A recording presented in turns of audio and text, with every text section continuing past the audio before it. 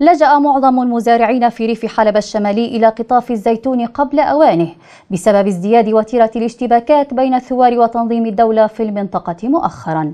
الأمر الذي أدى إلى تناقص نسبة قطع الزيت نتيجة عدم اكتمال نضج الزيتون.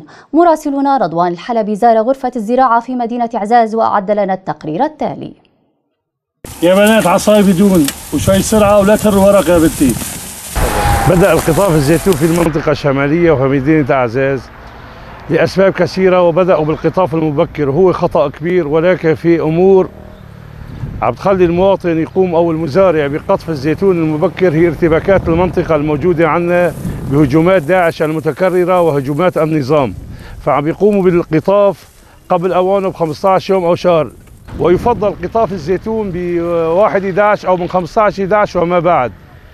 اليوم ال 100 كيلو زيتون عم تقطع 16 كيلو تنكة واحدة.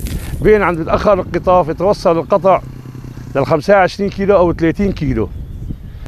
في عندنا أشكال ثانية كمان عم بتخفف القطع هي عندنا عدم الحراسة الجيدة عدم رش المبيدات عدم التعشيب حول السجر عدم تقليم السجر أو ما قال عندنا في المدينة هون كساحة السجر. نطلب أيضا من المواطن إنه يسمح لأبو المعصرة من وضع الزيتون أول يوم يقوم بعصره ثاني يوم لتخف الحموضة.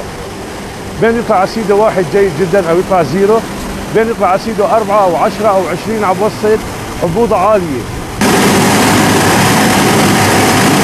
يعني في موسم جيد. إن شاء الله ولكن نسبة القطع شوي قليلة.